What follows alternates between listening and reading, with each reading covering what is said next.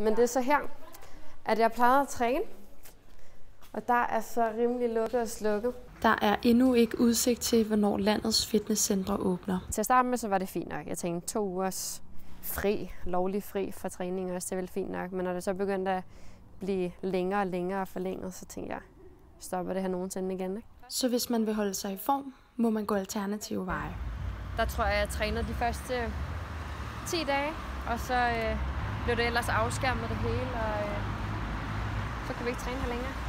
Men det er ikke helt så nemt, når der er mangel på åbne træningsarealer.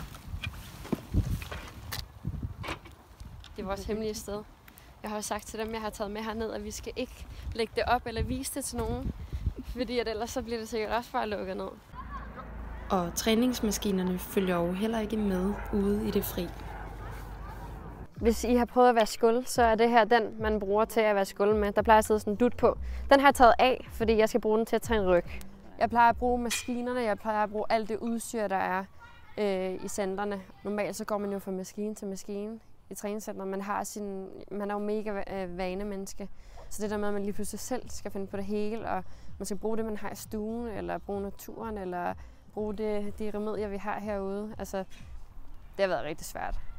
Altså, man bliver sat lidt på prøve, ikke? Så skal man til at tænke ud af boksen. Den her er ret fed. Nu var der kommet lidt flere til. Så, øh, og det er også det, der er ulempen, ikke? Altså, når, fordi der er jo sindssygt meget, eller sindssygt lidt udstyr på det her plads. Så hvis der bare kommer en 5-6 mennesker, så er der også begrænset igen, hvad man kan lave. Så der skal man enten ud og tænke kreativt igen, eller finde et nyt sted. Det, jeg har lært af den her omvæltning, det er, at øh, man tager tingene lidt for givet, tror jeg. Jeg tror ikke, man tænker så meget over, hvor nemt man egentlig har det. En gang så stod der på sædlerne, at øh, vi havde lukket til en bestemt dato, men øh, nu står der bare, at der er midlertidigt lukket, ind, til vi får andet at vide. Man skal sætte pris på det, man har, ikke? og nyde, øh, hvor heldig man egentlig er.